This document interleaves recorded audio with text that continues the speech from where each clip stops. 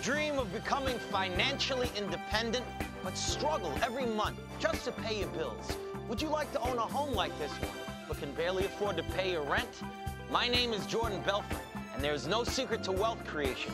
No matter who you are, no matter where you came from, you too can become financially independent in just a matter of months. All you need is a strategy. When I was 24 years old, I made a decision, not just to survive, but to thrive. At first, I didn't feel like deals like these were possible, but we have the house and we have a $33,000 profit. I certainly believe now. Think about it for a second. If you don't have the guts to attend Jordan Belfort's straight line persuasion system seminar, then how do you expect to make any money? If you want to be a millionaire someday, have some guts. Make a decision. Jordan Belfort said it worked for me because I worked hard for it. And if it doesn't work for you, it's because you're lazy and you should get a job at McDonald's. There's nobody holding you back from financial freedom, and there's nobody stopping you from making millions. Don't just sit at home, or the life of your dreams will sail right past you.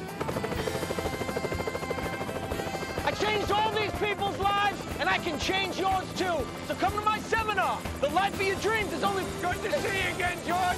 You're under arrest. You gotta be, you gotta be joking. Hey, kidding me now? Hey, hey, get away from me. turn that camera off. Hey, don't fucking, I'm fucking shooting a fucking infomercial here, you fucking cocksucker. Fuck you, turn you the fucking camera You off. don't got shit on me, you hear me? Ah. Go fuck yourself. I'm making an honest living, you fucking piece of shit. Hey, Jordan, let me give you a little legal advice. Shut the fuck up! Oh, fuck you, you fucking prick. I'm making an honest living, you motherfucker. I clean up my act, I did rehab, I'm a TV personality, I'm sober for two years, and this happens. Rugrat goes and gets busted down in Miami, I'm Swiss, I'm not communist. and guess who the fuck with? Saurel. You're gonna beat me. Yeah, I know your country. You're gonna beat me. Yeah. I mean, what are the fucking odds? There had to be 10,000 Swiss bankers in Geneva, and Rugrat gets the one dumb enough to get himself arrested on U.S. soil? I know. Even more fucked was that he got busted for shit that had nothing to do with me. It had nothing to fucking do with me. Something about laundering drug money through offshore boat racing and a guy named Rocky Aoki. You know, the founder of Benihana? Benihana? Benny fucking Hana?